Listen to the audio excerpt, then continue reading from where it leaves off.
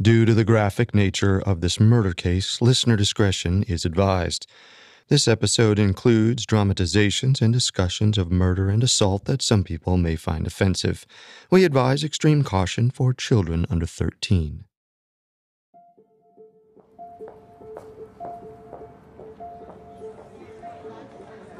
On the morning of October 8, 1998, Gary Condit headed into the Capitol building to join his fellow congressmen in the House of Representatives for a vote. Condit likely knew the entire nation was watching that day. For the last several months, Washington, D.C. had been consumed by the news that President Bill Clinton had been sleeping with his young intern, Monica Lewinsky. Clinton was accused of lying under oath about the affair and obstructing justice. And now, finally, the House was ready to decide whether the president should be impeached. Condit was officially a Democrat, like Clinton, but the 50 year old had built a reputation in Congress for his conservative leaning views, and when it came to the possibility of impeachment, Condit wasn't going to stick to party lines. Condit, along with 257 other members of the House, would vote that day in favor of an impeachment trial. The American people deserved to know what their president had done. But just a few years later, Gary Condit found himself in the middle of a sex scandal of his own. And this time, he wasn't so committed to openness and honesty. Condit would do everything in his power to avoid the truth about his own affair with a young intern and her mysterious death. This is a one part episode on the death of DC intern Chandra Levy for the 20th anniversary of her May 1st disappearance. We'll cover Chandra's life, her relationship with Congressman Gary Condit, and the mysteries around her death that are still unexplained to this day. We have all that and more coming up. Stay with us. It was clear the minute that a teenage Chandra Levy set foot inside her California high school in the early 1990s that she was different. While her fellow classmates worried about boyfriends or whose older sibling could buy them beer, the smart, motivated girl with a mane of curly brown hair was already focused on her future. Chandra knew she wanted more from life than what she could find in Modesto, California, the quiet city where she lived with her parents. Modesto in the 90s lived up to its name, which is Spanish for modest. While she was in high school, Chandra began volunteering at the local police department, where she helped out around the office and rode in the passenger seat of squad cars while they made rounds through Modesto. She even got her own Modesto Police Department uniform, complete with a badge. Chandra started wearing the brown button up shirt and badge to class at Davis High School. Chandra spent a lot of time around the police station and made friends with people in the department, including some of the cops themselves. We don't know the exact details of these friendships, but it's easy to imagine a young Chandra being drawn to these professional, career driven police officers. She reportedly always liked older men, particularly actor Harrison Ford. In a note during senior year, one of Chandra's friends wrote, Older guys are better. I mean, so what if Harrison Ford is in his mid 50s? We'll probably like younger guys as we get older ourselves. Viva older men. After high school, Chandra headed to San Francisco State to earn a major in criminal justice. She also started dating one of the Modesto police officers, a man named Mark who was nearly 10 years her senior. But once she finished her undergraduate program, Chandra decided that it was time to leave Modesto behind for good. She earned her master's from the University of Southern California in Los Angeles, where she interned in the mayor's office. Later, she worked for Governor Gray Davis in Sacramento. That eventually led to an internship all the way across the country with the Federal Bureau of Prisons. And so, on September 14th, 2000, 23 year old Chandra Levy stepped off an airplane in Washington, D.C., with a prestigious new position and her sights set on a future career with the FBI or the CIA. One day that fall, Chandra and an old college friend named Jennifer headed to the Capitol in hopes of meeting someone in Congress who could give them a job. But Chandra got more than that. The pair unexpectedly found themselves face to face with Modesto's own congressman, 52 year old Gary Condit. And Condit immediately took an interest in the young women. He gave them a tour and offered Jennifer an internship. A few days later, when Chandra stopped by his office to visit her friend, Condit gave her something else his phone number. At first, the relationship between Chandra and Condit was strictly platonic. Chandra would drop by his office to chat, and the congressman advised her about building a career in D.C. But one night in the fall of 2000, Condit called with an invitation to his condo. That evening fling soon evolved into an ongoing affair. Gary Condit was twice Chandra's age and married with children but that didn't stop him from regularly inviting her to his apartment. The pair would watch TV, order takeout, and reportedly enjoy rubbing each other down with massage oil. Condit's family lived back in California, so he apparently wasn't worried about getting caught. But their relationship rarely extended past the door of his condo, and he still had a lot of rules for Chandra to make sure that they kept their romance secret. When Chandra visited him, she always wore dark sunglasses or a baseball hat. She left her wallet and ID at home, apparently to avoid someone asking to see it and learning her name. Condit even had rules about how she should act in his building. He gave her an alibi to use in case anyone asked what she was doing there. And if anyone got on the elevator with her, she wasn't allowed to get off on his floor. Condit had one final rule that was more important than all the rest. Chandra was forbidden from telling anyone about him. If she did, Condit said, then it would be over. Chandra did as he asked, following every rule.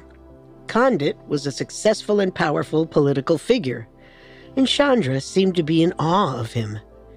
He may have treated her like another secret fling, but Chandra quickly began to fall in love. And as intelligent as she might have been, she was still innocent enough to believe Condit when he told her he was planning to leave his wife and start a family with her. Until that happened, Chandra was content to keep sneaking around. A few months into the fling, Chandra headed to her aunt's house in Chesapeake City, Maryland for Thanksgiving. She had kept her new relationship a secret from just about everyone in her life.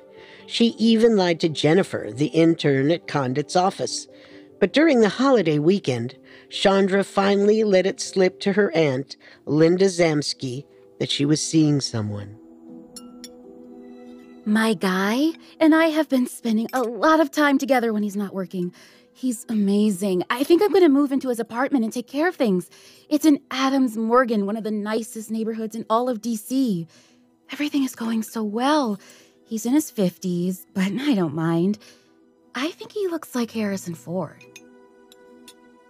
Chandra wouldn't say his name, but she told Linda one important detail about the mystery man she was seeing. I'm not supposed to say, but he's a congressman. Please don't tell anyone. Just keep it between us, okay? In early 2001, Chandra took another step that showed just how serious she was about Gary Condit. She called her landlord and asked about the possibility of breaking the lease on her current apartment. Apparently, she was planning to move in with her boyfriend. It's unclear exactly what happened next, but only a few weeks later, the landlord heard from Chandra again. She said she wouldn't be moving out after all. But that wasn't the end of Chandra's relationship with Condit. She was still seeing the congressman in April of 2001 when she celebrated her 24th birthday. At the end of the month, Chandra left DC to spend Passover in Maryland with her aunt. During the visit, Chandra spilled more secrets. Her boyfriend had bought her a few nice gifts, including plane tickets back to California and a gold bracelet. And before the weekend was over, she decided to tell Linda the man's name. Gary Condit. Congressman Gary Condit. A few days later, Chandra said goodbye to her aunt and headed back to D.C. to finish up her internship at the Federal Bureau of Prisons. At the end of April, Chandra left a message on her aunt's machine. Now that her internship had ended, Chandra was at a loss about what to do next. Hi, Linda. This is Chandra. My internship is over. I'm planning on packing my bags in the next week or 10 days, heading home for a while. Don't know what I'm going to do this summer, but I have something important to tell you. Call me. She also sent a message to her landlord telling him she was planning to move back west in early May. I really hate giving up the apartment, but I think I need to be in California for a while to figure out what my next move is. Unfortunately, Chandra Levy never made it back to Modesto. On the morning of May 1st, Chandra Levy woke up in her Washington, D.C. apartment. She sat down at her computer and read the news, then started looking up plane tickets for her trip. She also read a website about hiking trails in Rock Creek Park, DC's nearly 2,000 acre city park, a few miles from her apartment. What happened next is a mystery to this day, but one thing is clear Chandra Levy was never seen or heard from again. Coming up, Chandra's disappearance throws Congressman Condit into the center of a nationwide scandal. And now, back to the story. Around noon on May 6, 2001, Robert and Susan Levy sat inside their home in Modesto, California, and dialed the number for the Washington, D.C. police. Their daughter, 24 year old Chandra Levy, was supposed to return home from her internship in D.C. in less than a week, but the young woman had vanished, and her parents were starting to worry. They had repeatedly called Chandra's phone, likely hoping she would answer with an excuse and apology for not staying in touch. Maybe she was just busy with her move back to California. Maybe she was even riding an Amtrak train back west at that very moment, out of cell phone service. But whatever the case, the calls kept going straight to voicemail. It was time to get the police involved. That afternoon, the Metropolitan Police Department drove over to the apartment Chandra was renting during her internship. When they searched the small studio, they found Chandra's packed suitcases, her cell phone, and her driver's license, but no sign of the young woman herself. When one sergeant opened up Chandra's laptop, he made a critical mistake. Somehow, through his own incompetence with technology, the man managed to crash the computer and corrupt its hard drive. With that, the police erased any clues that may have been hiding inside Chandra's computer. This was just the first in a long string of accidents and missteps that would plague the police investigation for years to come. The second came just a few minutes later. Police didn't even bother to check the security cameras in Chandra's apartment building. If they had, they would have uncovered whether Chandra was alone in her apartment and what time she left. Instead, police just searched her home and moved on. By the time investigators finally decided to check the camera, days later, the tapes had been automatically erased. The potential evidence was lost for good. Back in Modesto, Chandra Levy's parents decided that if they wanted answers, they had to find them themselves. First, they opened their daughter's phone bill and scanned through every number on the list. Some they recognized, but there was one number that kept appearing on the bill again and again. They had no idea who it could be. So, the Levys picked up the phone and dialed. You have reached the office of Congressman Gary Condit. We're unable to take your call at this time. If you are a California constituent, please feel free to reach out to Congressman Condit by. Robert Levy didn't know why his missing daughter had repeatedly called Condit's DC office over the past few months, but he wanted to find out. So he found the congressman's home number in California and left a message with his wife. A little while later, the Levy's phone rang. It was Condit himself. Unfortunately, Condit was far from helpful. The congressman told Robert Levy that he had met Chandra. She had swung by his office a few times, but that was it. Condit didn't mention that he had been in a secret relationship with Chandra for the past few months, or that she regularly snuck over to his DC home, or that he had also called Chandra multiple times over the past few days, hoping to get in touch. All he said was that he didn't know where she was, and then he hung up. A few days later, Chandra Levy's parents announced a reward for any information that helped find their daughter. Gary Condit decided to donate $10,000 himself.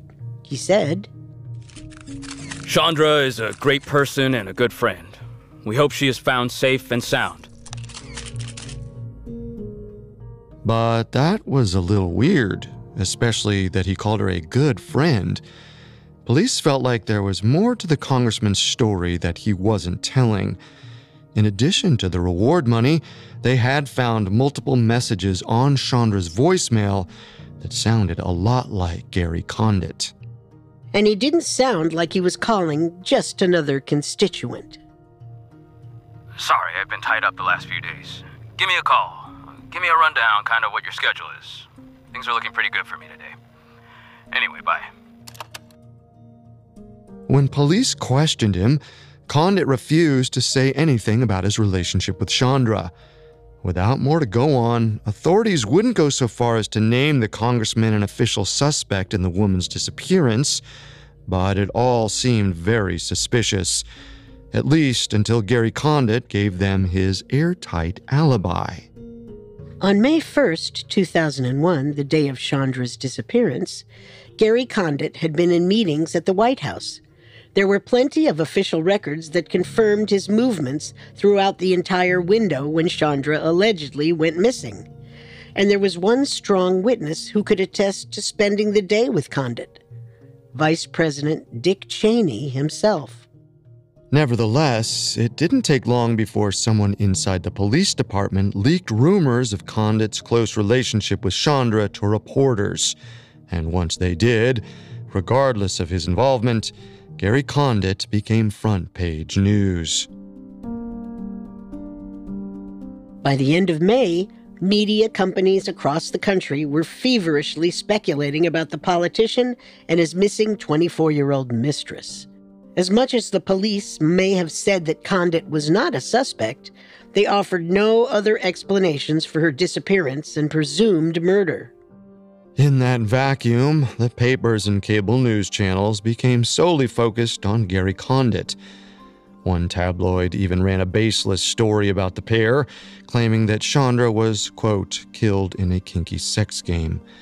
But even as the public pressure grew, Gary Condit refused to go into detail about the nature of his relationship with Chandra. Eventually, the Levy family called out the congressman. In an interview, Chandra's mother said, I think he could come out and share what he does know. We would appreciate the help. But it was Chandra's aunt Linda who finally brought the relationship between Condit and Chandra to light. On July 6th, a month after the Levys first reported their daughter missing, Linda sat down for an interview with the Washington Post. I asked, How do you get in touch with him if it's so secretive, this relationship? And she said, Well, and this is when she came and accidentally said his name to me. She would dial a number, it would play music, and she would leave a message. She said, I would also call the office and they would answer Gary Condit. And that's how his name came out. She goes, Oops. She says, You didn't hear that. During the 90 minute interview, Linda finally shared the secret she'd been keeping for her niece since last Thanksgiving. And just a few days later, Gary Condit finally allowed the Metropolitan Police to take a swab of the inside of his cheek for a DNA test. They tested it against some semen they found on a pair of Chandra's underwear. It was a match.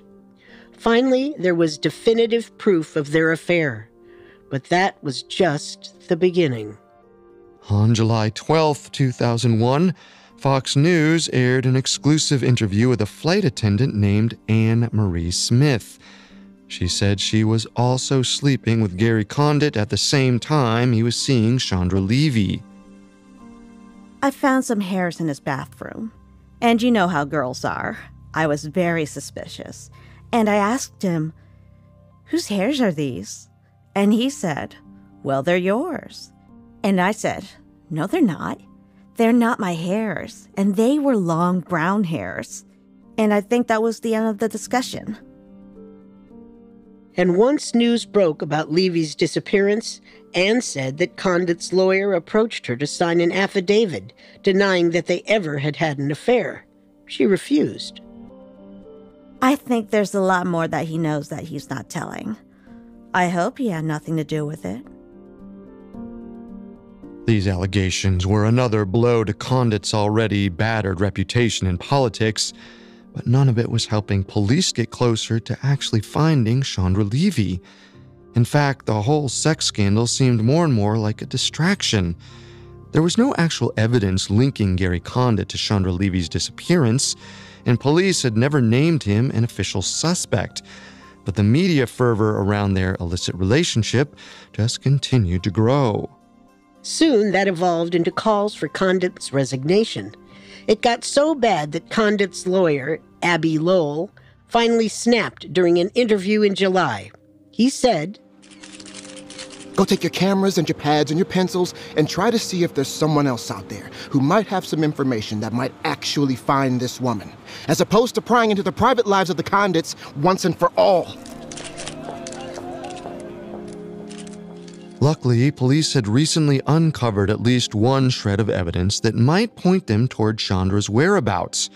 An analyst had been able to pull some information from her corrupted laptop. According to her last few internet searches, Chandra Levy might have been headed to Rock Creek Park, so police began scouring the area for any trace of her. Unfortunately, the search would wind up becoming yet another mistake in their struggling investigation. On July 25, 2001, the FBI gathered a team of volunteers to search Rock Creek Park. Throughout the day, dozens of people, police, and bloodhounds scoured the area. They crunched through the wilderness and along the streets that crisscrossed the nearly 2,000 acre park, but the group found nothing. They had no idea how close they'd come to finding Chandra Levy's body. Unfortunately, no one had bothered to check the park's smaller hiking trails, only the paved pathways.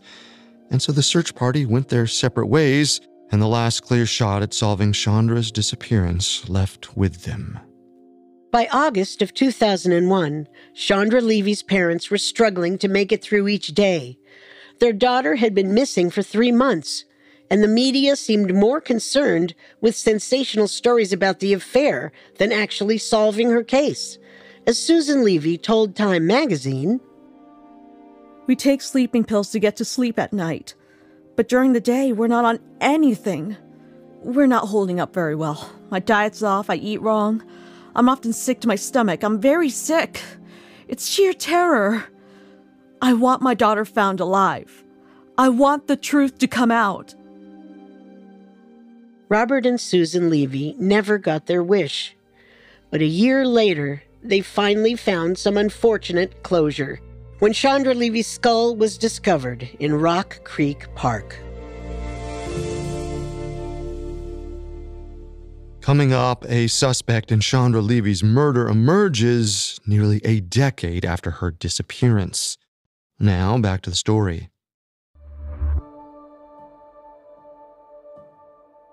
Early on Wednesday, May 22nd, 2002, 44 year old Philip Palmer walked his dog through Rock Creek Park in Washington, D.C. As he crunched through the leaves near one of the many hiking trails, his eyes landed on something strange. It was bright white and partially hidden on the forest floor. At first, Palmer couldn't tell what the object was. He moved closer to get a better look, and then all of a sudden it dawned on him. He was staring down at a human skull. Palmer ran to call 911. By the afternoon, the area was swarming with police. They uncovered more skeletal remains and scraps of clothing, including a sports bra and a tattered University of Southern California t shirt. It was Chandra Levy. The body was less than the length of a football field from where dozens of people searched for her a year earlier. But police had somehow determined that the hiking trails weren't worth investigating. According to Washington, D.C. medical examiner Dr. Jonathan Arden, the body was so decomposed that it was impossible to find a cause of death.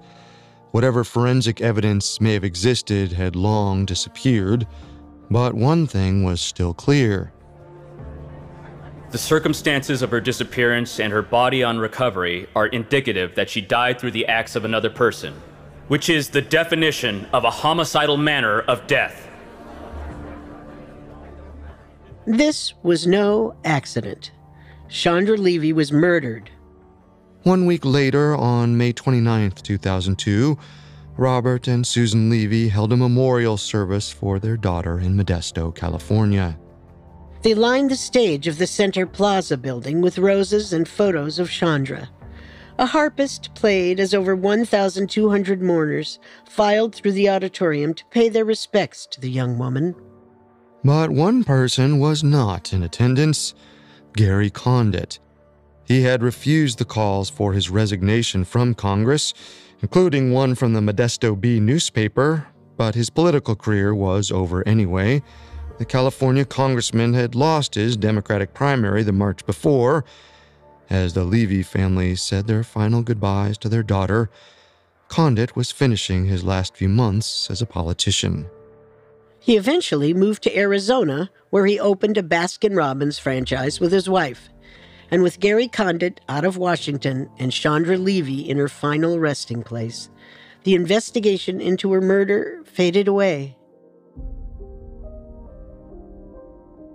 Over the next few years, Chandra Levy became just another name on a list of DC scandals, and the cold case was made an even lower priority in the wake of world events only months after her disappearance, the World Trade Center was attacked.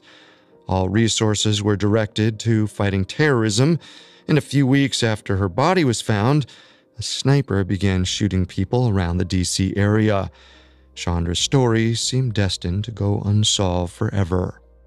At least until the media decided to take matters into their own hands.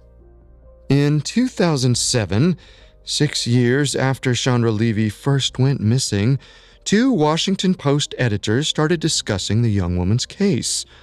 All along, authorities had been so focused on Gary Condit that they may have missed valuable clues pointing towards the real killer. So the editors decided to take a look at Chandra's case once again and hopefully see what the police couldn't. For the next year, the journalists pored over every scrap of evidence, and they eventually uncovered a lead. On July 13, 2008, after a year of reporting, the Washington Post published the first of 13 articles on the DC cold case. One article read While DC police focused most of their investigative efforts on Representative Gary Condit and his relationship to missing intern Chandra Levy, they were slow to recognize another lead. It involved a man who was attacking women in the woods of Rock Creek Park. The Washington Post had a suspect. He was an undocumented immigrant from El Salvador named Ingmar Guandique, and it seemed like police had missed a whole string of evidence connecting him to Chandra Levy. Guandique was currently serving 10 years in prison for assaulting two women in Rock Creek Park in the early 2000s, right around the time that Chandra went missing. The then 19 year old had pounced on two women as they were jogging down hiking trails in Rock Creek, but both had managed to fight him off and escape. And on May 1st, 2001, the day Chandra went missing, Guandique missed work at his construction job. When he reappeared, his face was bruised and scratched. He claimed the wounds were from a fight with an ex girlfriend, but his facts didn't add up. By the time police realized Chandra's murder was related to Rock Creek, Guandique was in prison for the other two jogging attacks. On July 2, 2001, DC Park Police brought a photo of Chandra to the prison to ask him what he knew. Have you ever seen this girl before? Once, in the parking lot at Rock Creek Park. Is that right? Well, do you think she's good looking? Sure, why not? But I never saw her again after that. And for some reason, police left it at that. No one looked at Guandique again until the Washington Post investigation. A few months later, in September of 2001, one of Guandique's old cellmates came forward with a shocking piece of information Guandique had allegedly told him that he murdered Chandra. But when the informant flunked a polygraph test, the FBI assumed it was a fake tip, and once again, they moved on. But the Washington Post was a little more thorough. Over the course of the reports, the journalist laid out a convincing case that Guandique could have killed Chandra Levy. The articles gave Chandra the investigation that police never did. They were too focused on Gary Condit, who they knew from the beginning couldn't have murdered her. Among other things, investigators cite the failure to immediately obtain the security camera tape from Chandra's apartment building, the failure to promptly and correctly analyze the contents of her computer, which would have shown that she was searching for something to do in Rock Creek Park, the failure to conduct a more rigorous search of Rock Creek Park, and the failure to quickly recognize and capitalize on the possible link between Chandra's disappearance and Guandique's Rock Creek Park attacks. The Washington Post story immediately reignited the long dormant investigation. In September of 2008, the DC police visited 27 year old Ingmar Guandique in his cell at a California prison to question him again about Chandra Levy. Guandique denied that he killed her, but the authorities were suspicious about a tattoo on his chest.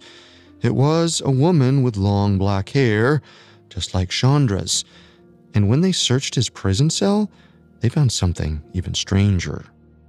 Ingmar Guandique had been saving a magazine photo of Chandra Levy herself. On May 19, 2009, Guandique was indicted for the murder of Chandra Levy. He pleaded not guilty. The star witness for the prosecution was a prison informant named Armando Morales, who had shared a cell with Guandique a few years earlier. According to Morales, Guandique confessed to killing Chandra Levy in 2006. There was no hard evidence, but Morales' story seemed to convince everyone in the jury. And so on November 22, 2010, Ingmar Guandique was convicted of first degree murder, kidnapping, and attempted robbery. But the mystery of Chandra Levy's murder didn't end there. A few years later, secret recordings emerged of Morales bragging about his gang activity and allegedly lying about Guandique and Chandra Levy. The prosecution star witness didn't seem so trustworthy after all. Guandique was granted a retrial, but without Morales, all the prosecution had was circumstantial evidence. And so, in 2016, the D.C. Attorney's Office released a statement that brought the whole case to pieces once again. Due to recent unforeseen developments, we can no longer prove the murder case against Mr. Guandique beyond a reasonable doubt. The prosecution dismissed all of the Chandra Levy murder charges against Guandique. In May of 2017, he was handed over to immigration and sent back to his home country of El Salvador. As far as we know, he's still there to this day. With that, Chandra Levy's only suspect disappeared. Her murder investigation ended once and for all. Chandra's parents, Robert and Susan Levy, may never get the answers that they want, but they'll never stop wondering. In a 2016 interview, Susan told ABC News I want someone to come forward and tell the truth. Someone knows something that I don't know. I don't think my daughter would run in the park by herself. I guess I'll always have unanswered questions. But even the truth about Chandra Levy's death wouldn't change the fact that she is gone. It's painful, and you don't heal. Closure is a very bad word. There's no such thing.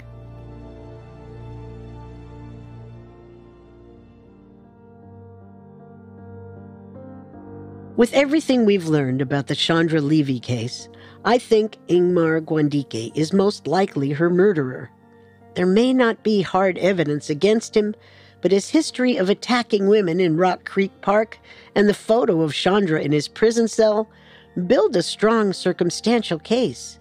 I understand where you're coming from, but I am not completely convinced. There are still too many holes in the case against Guandique, and he has continued to claim that he is innocent.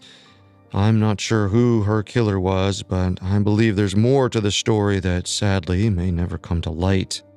In any case, Chandra Levy's name may be forever tied to her brief affair with a politician. But she was more than just another sex scandal in Washington. She was a smart, driven young woman with plans for a future that she never got to live. And her death left a hole in her loved ones that will never fully heal.